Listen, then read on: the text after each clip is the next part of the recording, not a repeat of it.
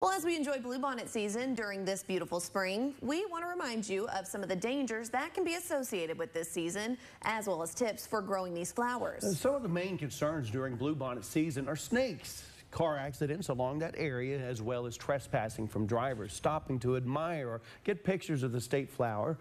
TxDOT PIO Adele Lewis shares ways to grow bluebonnets and a program put in place to help ensure an annual bloom. You always think that flowers need nice, beautiful soil, but not bluebonnets. They want the crummiest soil you can give them and the worst conditions. And so we have an abundance of them throughout the state. The State Department of Transportation also sows some seeds, and we have a mowing program that allows the seeds or the flowers to go to seed and be productive the following year.